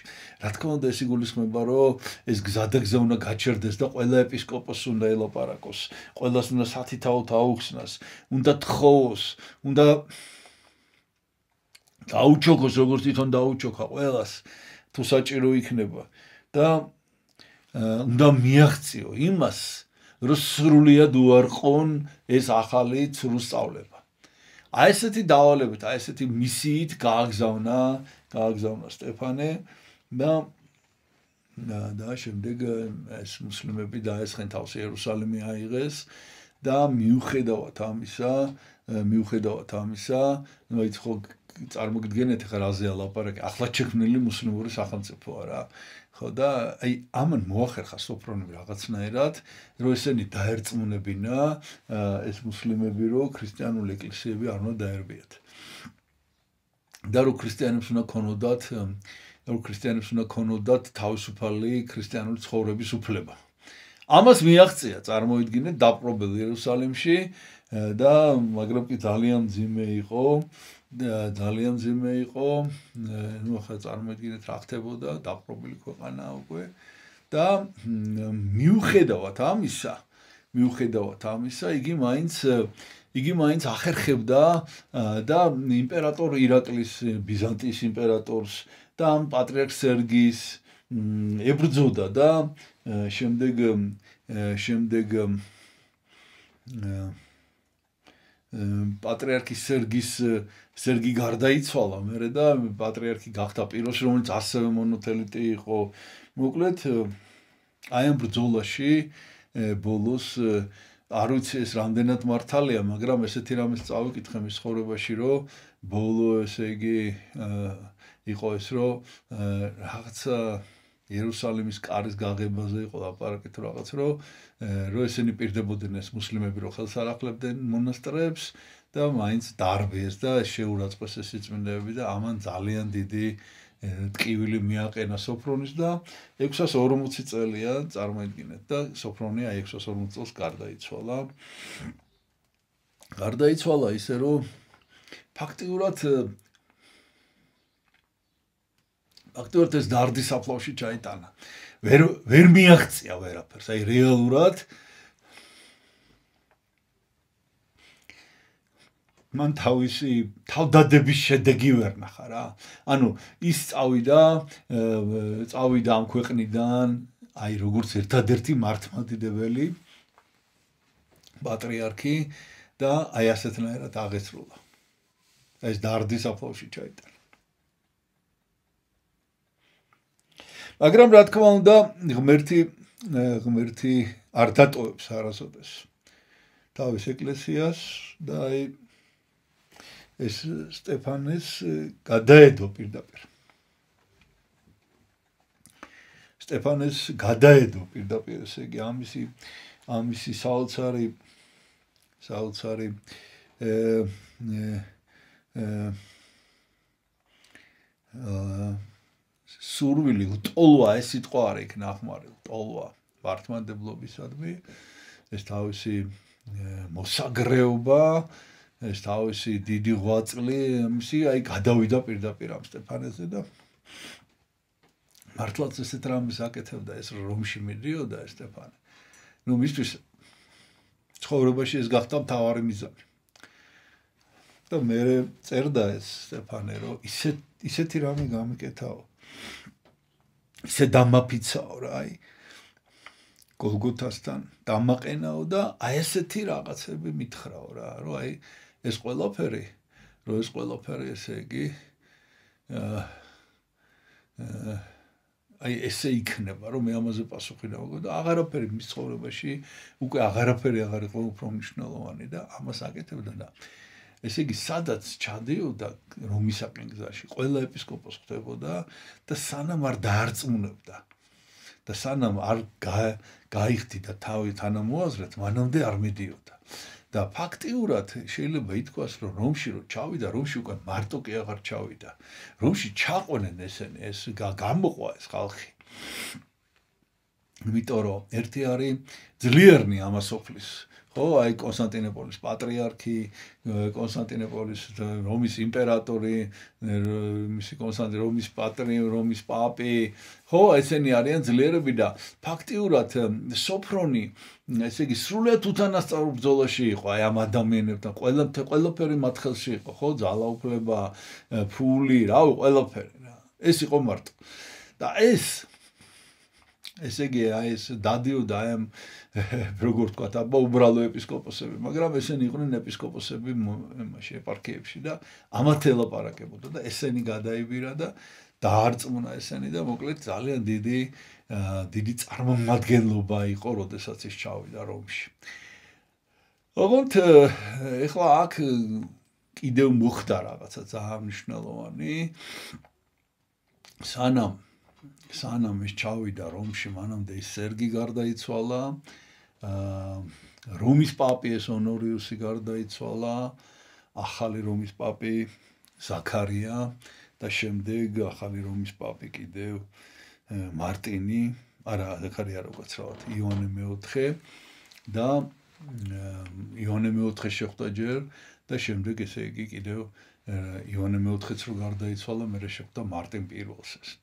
ესე იგი ეს ახლა რა ხალხი რა სახელები ჩამოგითვალეთ ესენი იყვნენ უდიდესი მოღვაწე ადამიანები. იონე მეოთხემ კრება მოიწვია აი სწორედ ამ სტეფანეს ხაემითი რა ქვია რჩევით და შემდეგ მოკლედ დაი რომის ეკლესიამ დაიწყო თავიდან ეს ყველაფერი და და ბოლოს გახდა რომის პაპი მარტინ პირველი ეს არის მეექვსე საუბარი მარტინ პირველის შესახებ აუცილებლად მოისმინეთ. აი როგორ გაგრძელდა შემდეგ ეს ამბები? ეს უკვე არის მარტინ პირველის ამბავი და რაც თავარია ესე იგი მარტინ პირველის მეგობარი და მხარდამჭერი იყო ბიზანტიიდან ჩამოსული მაქსიმე მაქსიმე აფსარებელი რომელმაც ესე იგი ფაქტიურად მოუმზადა ჯერ ხო სოფრონი მოამზადა საფრთხის მეტყოლო საფუძველი ამ ყველაფრის და მე მაქსიმე აფსარებელმა თავის შრომებში და ფაქტიურად ფაქტიურად აი მარტინ პირველმა საბოლოოდ უკვე და მაქსიმე აფსარებელმა რომის ეკლესია დააყენეს სწორგზაზე და გამოაცხადეს დაგმეს და არა მარტო დაგმეს ეს სწავლება. ანათემა ესე იგი ესეც უნდა გაბედო რა ადამიანმა რომ აი კონსტანტინოპოლის პატრიარქს ანათემა გამო ანათემა გამოუცხადა ანათემას გადასცეს სოცხლებით და ვინც მაშინ იყვნენ და ეს მიცვალებულებით სერგი ეს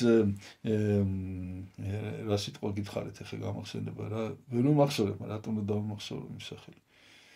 რომის პაპი მეც იყო. ონორიუსი ონორიუსი და აი ეს კვიროსი და ეს პიროსი და ნუ მოკლედ ესენი ვინც არიან ესენი ისტორიას მარტო იმიტომ შემორჩენ რომ აი ხო დამათი გადაწყვეტილებით მე ანათემას გადაეცა. და შემდეგ უკვე სოფლიო კრება.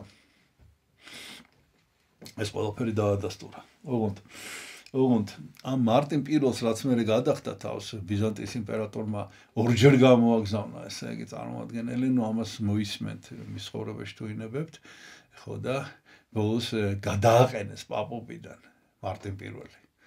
გადააყენეს დააპატიმრეს აბსოლუტურად ყოველგვარი პროცედურების დაცვის გარეშე. არ არ ჯერტი რა უნდა დაეცვათ რა რა პროცედურა იყო ხა რომ რომის პაპის დააპატიმრების, მაგრამ ესე და გადაასახლეს მე და მოკლედ ამანაც ესეც უდიდესი მოწამე პატრიარქი, ну просто რომის პაპი იყო და ასევე მაქსიმე აღსარებას რა დაემართა კი იცით ეს ну просто უნდა იცოდეთ მე საუბარიც ქონდა ამაზე როგორა გადმოასახლეს ჩვენთან საქართველოში ენახელი მოკვეთეს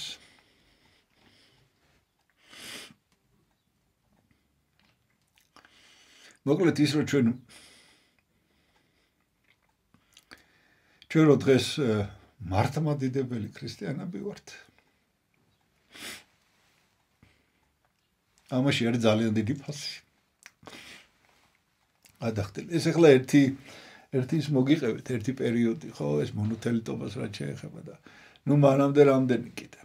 და მერე რამდენი კიდე. აი ასეთი ადამიანების წყალობით როგორც იყო სოფრონი. მაგალითად, ის დღეს ჩვენ საუბრობთ. სოფრონი იერუსალიმის პატრიარქი. აი ეს არის ერთ-ერთი საოცარი მაგალითი. აი იმისა თუ რის ფასად? ანუ სწორედ რა უნდა გადაიხადოს ადამიანმა საფასური? აი იმისათვის რომ აი ჩვენ ეს გაგვაჩნია ეს რაღაცა დიდი სიკეთე ძალიან ეს არის ჩვენი აღსარებლობა მართლმადებლური აღსარება. ნუ სოფრონის ბევრი წიგნი 150 აღარ მახსოვს რამდენი იყო, ძალიან ბევრი დაწერა და სხვადასხვა შინაარს იყო, სხვა შორის აპოლოგეტიკაც იყო, სწავლამოძღვრებითი ხასიათის ისტორიული წიგნებიც, იმიტომ რომ იმიტომ რომ აი რო დადიოდნენ ესენი, აი ეს როგორც მოგახსენეთ ივანე მოსხის ლიმონარი დარჩა, რომელიც აი ნუ უნდა წაიკითხოთ, ეს არის სამუთხე ესე ქვია. ხო და ქართლათაც არის რა თქმა უნდა. და კიდე სოფრონის აქვს მაგალითად მაგალითად აი რომ ის რაც ყველა მიცით ქრისტიანი რომ შემოაბიჯებს ეკლესიაში პირველი რასაც გებულობს ეს არის მარიამ მეგვიპტელის ისტორია თან ახლა მარხვაში ვართ აი მარიამ მეგვიპტელი ჩვენ სოფრონის რო არ მოეყოლა ჩვენ არ გვეცოდინებოდა მარიამ მეგვიპტელის ამბავი საერთოდ ანუ მარიამ ეგვიპტელის ცხოვრება მისი აღწერილია და სხვა კიდე ბევრი წმინდანების ცხოვრების ავტორია, ანუ ისტორიული შინაარსის ნაწარმოებები აქვს, უდიდესი, მოკლედ საეკლესიო წერალი და ბევრმა რამე მოაღწია, მაგრამ ბევრმა ვერ მოაღწია სოფრონის. ну, მე ხა კიდევ რა შემიძლია გითხრათ, ერთ-ერთი რაც შემიძლია გითხრათ, რომ ჩვენ რა თქმა უნდა ჯერ არა გვაქვს სოფრონის ხატი შექმნილი, მიგაჩვენებთ სანაწილეს. აი, არა, ეს არ არის. გაცრავთ. აი წმინდა სუფრონის. აი ნახეთ ლითონის იმაში მაქვს ჩადებული, აი ეგ არის. აი აი ლითონში არის სანაწილეში შუშაში ძევს დროებით უბრალოდ. აი ეგ არის წმინდა ნაწილები და ეხლა გაჩვენებ გამოსახულებითაც მაინდამაინც არა ვარ განებივრებული. აი ეს არის ძველი გამოსახულება მისი 1418 წლამდე დაახლოებით სერბული სერბულია.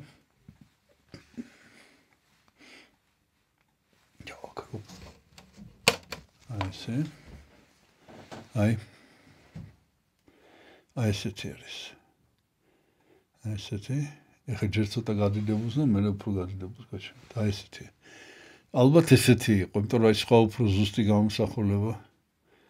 აი ეს არის სოფრონი იერუსალიმის პატრიარქი.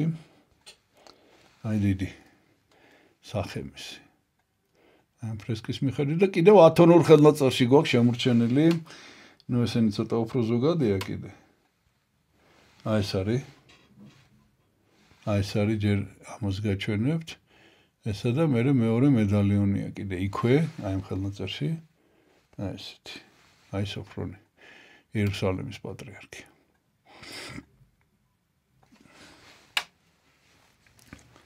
ну no. აი როგორც მოგახსენეთ რა არის აქ ძალიან ესეთი შტამპი შტავიცით რომ აი პირდაპირ შეიძლება ითქვას რომ აი სული წმინდა ატარებდა ამ ადამიანს რა. ესე იგი აი დიდი დრო თავის ცხოვრების სანამ ეს ამბები დაიწყებოდა აი როგორ მოამზადა უფალმა სოფრონი. ესეთი კომპრომისო აბსოლუტურად კომპრომისო ბრძოლისათვის. და როგორ აი თუ სადმე რამე სავანე არსებობდა იერუსალიმში ანტიოქი ანტიოქიაში ეგვიპტეში რას თავარი, აი მოიარა და აი ამ თავის მოძღვართან ერთად, იონე მოსხთან ერთად, ამიტომ ამბობ რომ ქართველებისთვის ძალიან მნიშვნელოვანი წმინდანია. და აი მოაგროვა ეს. და თურმე თვითონაც არ ვიცი ცოტა თუ არა მაშინ ალბათ არა. ან შეიძლება გამოცხადებით. თურმე რაში დაჭირდა შემდეგ ეს ყველაფერი. მე რაც გამიგია ერთი ადამიანი ვიცი ესეთი აა რომელიც ასე მარტო დარჩა ეს იყო ეს იყო ათანასე დიდი ათანასე სოფლიოს წინააღმდეგ ესე ამბობდნენ მასზე იმიტომ რომ ერთადერთი იყო მაშინ ამ არიოზის მოძღვრების წინააღმდეგ და და აი ესეც იყო ერთადერთი. აი სოფრონი და მთელი სოფლიო ერთადერთი იყო ოღონდ ოღონდ განსხვავება მაინც ის არის რომ ის დიდხანს იყო ეს ათანასე და ეს არ იყო წლების მიხედვით რამდენიმე წელია ეს ყველაფერი. და აი რამდენიმე წელიწადში მოკლედ ანა ესე გადაიტანა თავის თავის ხრებზე აი ეს ამხელა ამხელა ტვირთი და სამაგეროთ აი მე მე ექვსე მსოფლიო კრება მეშვიდე მსოფლიო კრება ნუ არა მარტო წმინდა ნაჩერა ხოს არამედ სოფრონი არის ნუ დიდი მასწავლებელი ეკლესიის და რა თქმა უნდა აღადგინეს დიპტიხში შეიტანეს. ნუ მოკლედ დრომ მიაგო თავის პატივი და ისინი კი ჩამოგითვალეთ აღარ გამემორებ მათ სახელებს. ესენი კი ანათემოს გადაეცნენ და ესე ესე დამთავრდა მოკლედ ეს ამბავი. თუმცა კეთილი მე გადავალე ხა შემდეგ შემდეგ თემაზე. ну დღე ამ 11 მარტოზე მოგახსენეთ რომ მხოლოდ ამ კონსტანტინე კართაგენელისა გვაქვს და მე ამითი კიდევ ვისარგებლებ და კიდევ ერთ თემას ერთი ეს წმინდანი არ არის, უგუნ წმინდანთა ჯგუფია. დღეს არის შაბათი. აა 17 მარტი, ხო? საეკლესიო კალენდარი და ხვალ არის 18 მარტი. აი 18 მარტი ესე იგი ეს არის ხსენება, ვისი წმინდა ნაწილით გაგვეშინია 10000 ნიკომიდიელი მოწამის. 10000 ნიკომიდიელი მოწამის არაფერი სხვა არ აქვს, აი მარტო ერთადერთი ეს ნაწილი გვაქვს, გამოსახულებაც კი არ არის თითქოს. ალბათ უნდა შეიქმნას, არ ვიცი, აი ნახოთ. აი ეს არის, აი ეს არის მათი წმინდა ნაწილი. და ეხლა უნდა მოგიყვეთ ამ ნიკომიდიაზე რაღაც საინტერესო ამბავი ძალიან. აა ნიკომიდიაზე ჩვენ გვისაუბრია. ეს არის საუბარი ეს არის საუბარი 246 საუბარი 256-ე ნახეთ ეს არის ანთიმუზი ნიკომიდიის ეპისკოპოსი და აი ეს 20000 ნიკომიდიელი რომელიც აწამეს. ოღონდ ოღონდ ის ეხა რასაც დღეს მოგიყვებით ეს ამბავი ეს ერთი მთლიანი ამბავია სინამდვილეში. აქ ლაპარაკი განსხვავება მარტო ის არის რომ ეს დაიწყო ესე დაიწყო. ოღონდ ეხა ჯერ სანამ მე კი ვისაუბრე ნიკომიდიაზე მოდით გაჩვენებთ მაინც გაჩვენებთ მე თქვენ აი რუკას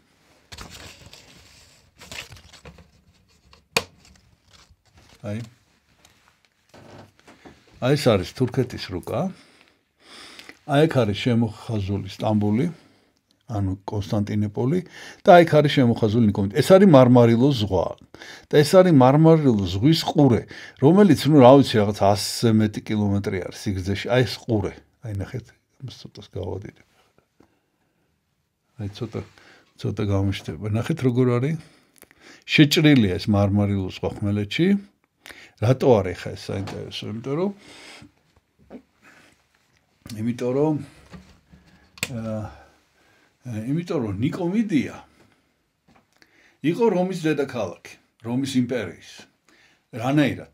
რანაირად და 4 ტეტრარქები იყვნენ, ესე იგი ერთ-ერთი იყო დიოკლეტიანე, მაქსიმიანე და კიდევ ესე იგი სხვები და ლიცინიუსი და კიდევ ნუ რა ვიცი ხა.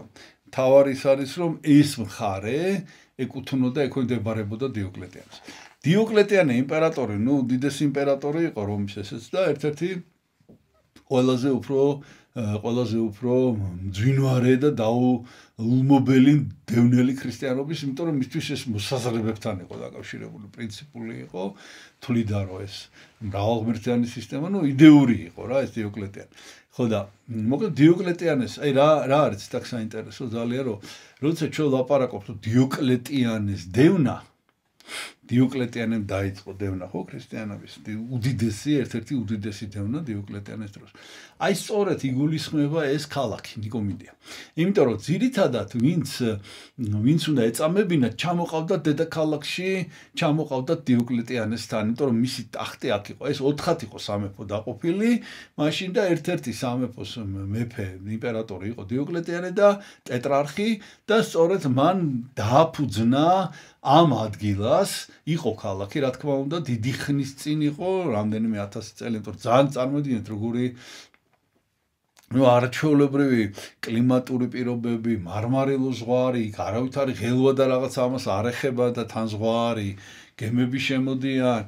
ნუ რა ვიცი, მიწარი ისეთი, რომ რაღაცა რამდენიმე მოსავალს იძლევა და ნუ რაღაც უმდიდრესი მხარეა და ამიტომ რა თქმა უნდა ეს სულ მუდმივი ბრძოლების და მუდმივი მის ომის ქვეშ იყო, ყველას უნდოდა ეს სუყე ის გადაეყლაპა თქვა, ხო? ლუკმა. და რაღაც დროს დიოკლეტიანე მოკლედ დაარსა დედაქალაქი აქა და დედაქალაქი იმიტომ რომ ყველაზე ხელსაყრელი ადგილი იყო. შემდეგ უკვე როდესაც კონსტანტინე დიდმა ესეც ერთ-ერთი ტეტრარხი იყო, გადაიტანა, ესე იგი უკვე დედაქალაქი გადაიტანა კონსტანტინოპოლში. კონსტანტინოპოლში გადაიტანა, მაგრამ კონსტანტინეს დროსაც კი რამდენიმე წელი ნიკომედია მაინც დედაქალაქი იყო. მოკლედ, აი ეს არის ცენტრი, ფაქტურად შეიძლება ითქვას აღმოსავლეთ რომის იმპერიის ცენტრია და ასეთი დიდი ქალაქი იყო მხოლოდ რამდენიმე. ეს იყო რომი, ეს იყო ალექსანდრია, ეს იყო ანტიოქია და ეს იყო ნიკომედია. აი ეს ოთხი დიდი ქალაქი იყო. მოკლედ, ახლა მე ესეთ ექსკურსი გავაკეთე. რატო? იმიტომ რომ დღეს აღარაფერია დარჩენილი აქედან. აი აღარაფერი.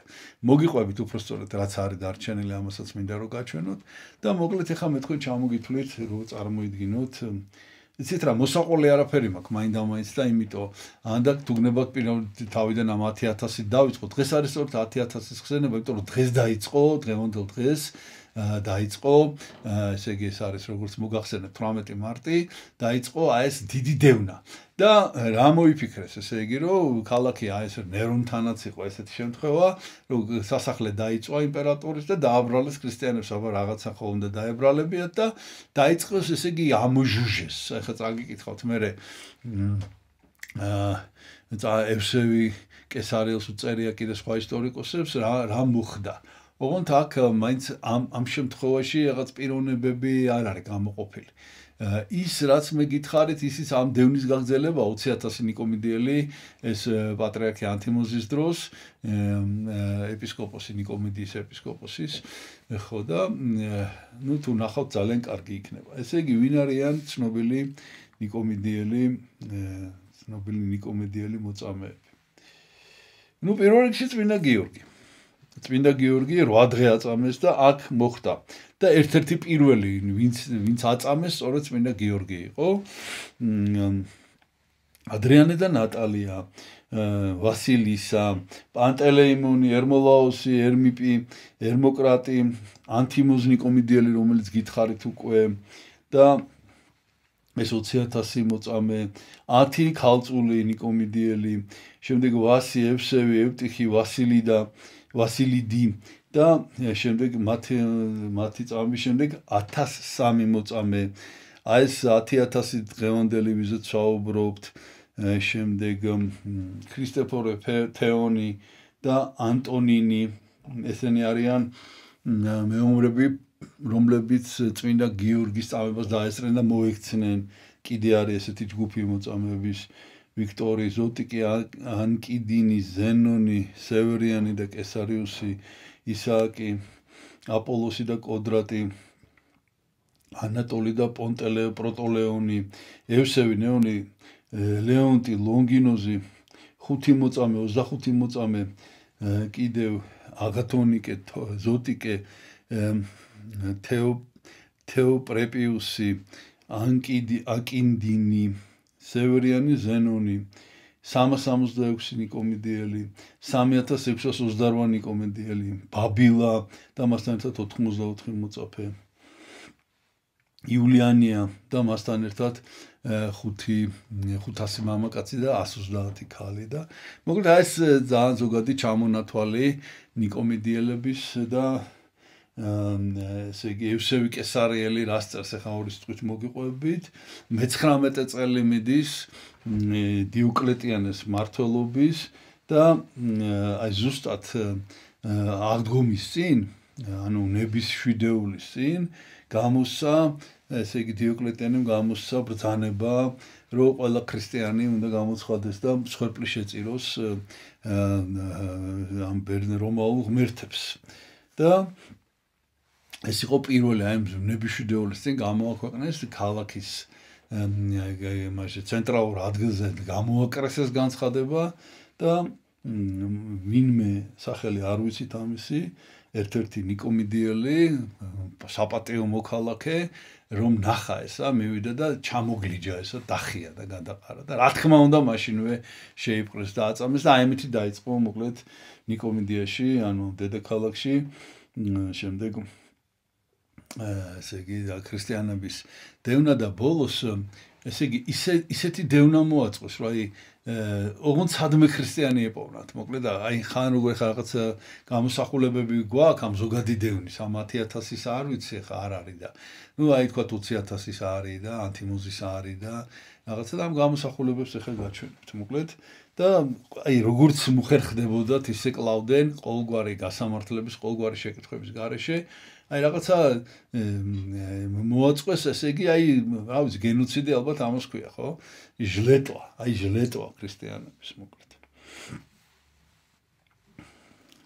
და არინდობდა დიოკლეტენი არავის არც იმას რა ქვია სახელმწიფო მოხელეებს არც მეომრებს ახლა წმინდა გიორგი დიდი სარდალი იყო მისი და მიუხედავად ამისა მოკლედ ეს და ლაქტანციუსი არის კიდე ესეც საკლისო წერალი ის წერს რომ ესე იგი მეუღლე მისი ვალერია ესე იგი პრისკა და ვალერია ქალიშვილია ისენიც კი აიძულა რომ სვერპლი შეეწირათ კერპებისთვის. და ვინც ეწინააღმდეგებდა მოკლედ არაფერს არ დაგიდევდათ და მოკლედ აი ესე აი ესე ეს ეს ხდებოდა ნიკომიდეში თუ მოახერხი გადმოცემა. აი ეს არის ხა გაჩვენებთ ეს არის ანტიმუზის მონი ნაჩვენები მოქონთესა აი ნახეთ ეპისკოპოსი ეგ ჩანს. ეს არის ტაძარი რომელშიც ცეცხლი წაუკიდეს და 20000 ნიკომიდელი მოწამე ეს არის საოცარი ამბებია ეს არის. აი ეს არის კიდე. ნახეთ აი როგორ აწამებენ. ამათი სახელებია ცნობილი ხომ მოყოთ აღარ მოსკენი. აღარ დავა კონკრეტე და აი კიდე. აი კიდე ზოგს წავენ, ზოგს კლავენ და მოკლედ ეს. ნუ ხო, ეხა ბოლოს უნდა მოგიყვეთ საინტერესო რაღაცა, ეს არის ერთადერთი რაც დარჩა, სასახლე იმპერატორის სასახლის ნანგრევი ძველი ფოტოა და ამას წინათ სულ ახლა ხანს ეს არის 1991 წელი. აი ეს აა იზმიტი ქვია ამ ადგილს დღეს იზმიტი ამ ნიკომიდიას ქვია იზმიტი და ეს იზმიტი ანკარას გზა გაყავდათ და აი ეს ახლა რასაც ხედავთ აი ეს ნეკროპოლისი ეს შემთხვევით აღმოჩნდა. გათხარეს აი როგორი გეგმა აქვს ზემოდან ნახეთ ესეთია. და აქ აღმოჩნდა აი რაღაც ესეთი აკლდამები გვირაბები აი კიდევ ეს საფლავის ქვარი, საფლავები.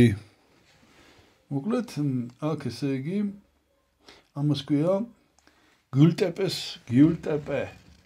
გულტეპეს ნეკროპოლისი ქვია, ესე იგი დღეს ამას და ესე იგი რა ვითარება აქ. გათხარეს და რაღაც ძვლებიც კი იპოვეს, მოკლედ გადაიტანეს ეს ყველაფერი მუზეუმში. და რაღაცა დიდი ის მაინდა-მაინც არ გამოიჩინეს. აა დიდი ხალისი ამის გათხრის. და დღემდე ესე ნუ ხელუხლებელია, თუმცა მე ვიღაცები ესე იგი მიშედიოდნენ შიგნით და ძებდნენ იმას, რა ქვია. აა განს და ამიტომ რაც იყო this is dying რა რაღაცა მოკლედ ეხლა არის მავთულ ხლართი არის გარშემო ამ გულტეპეს ნეკროპოლისის და რა ვიცი იქნება როდესმე დადგეს დრო და მათ მოიდომოდა ეს გათხარონ სხვა სხვა ამ იზმიტში, ქალაქ თურქულ ქალაქ იზმიტში აბსოლუტურად ყოველგვარი კვალი ძველი ცივილიზაციის წაშლილია. ერთადერთი ძველი კედელი არის შემორჩენილი წმინდა პანტელეიმონის მონასტრის ოღონდ მე-19 საუკუნეში. აი რაც შეეხება ამ ანტიკურ ემას, აი აღარაფერი აღარ არის დარჩენილი, მაგრამ მაინც მაინც ხო გეუბნებით, აი აღმოჩნდა არის და მოკლედ ეს მეფის სასახლე და ალბათ ავარაუდოთ ეს ის ადგილია მე ესე ვფიქრობ. ეს ნეკროპოლისი სადაც სადაც აი ამ წმინდანების წმინდანების ჟლეტვა ხდებოდა ხო მოყავდა და აკლავდნენ და ამიტომ აი ხა იქ შესვლა შეუძლებელია თორე თავისთავად საინტერესო იქნებოდა ქრისტიანული ტაძრის ნაწილებიც იპოვეს იქ რო გათხარეს მაშინ თავის დროს ну ამითი მე დღეს დაგემშვიდობებით. მე შეგახსენებთ ვიზე რაზე რაზე ვისაუბრო დღეს არის 17 მარტის საეკლესიო კალენდრით ეს კი ნიშნავს რომ აი წმინდა პატრიკის წმინდა ალექსი ღვთისკაცის ხსენება. და ჩვენ მაძე ვისაუბრეთ ეს არის პირველი საუბარი შემდეგ ვისაუბრეთ გაბრიელ ცირის შესახებ ეს არის ქართველი მოღვაწე რომელზეც ადრე არ გვისაუბრია და შემდეგ მოგიყევით სოფრონი იერუსალიმის პატრიარქის შესახებ რომელიც გასულ კვირას იყო ანუ 11 მარტს იყო ხსენება, ასევე წმინდა კონსტანტინე ვახსენეთ, რომელიც მარტო წმინდა ნაწილები გაგვაჩნია და მე მოგიყევით კიდე ხვალინდელი, ანუ 18 მარტის 10000 ნიკომიდიელის შესახებ, რაც ვიცით. ეს არის ძირითადად ის. ამით დაგემშვიდობებით, ღმერთმა დაგლოცოთ ჩვენთან არს ღმერთი.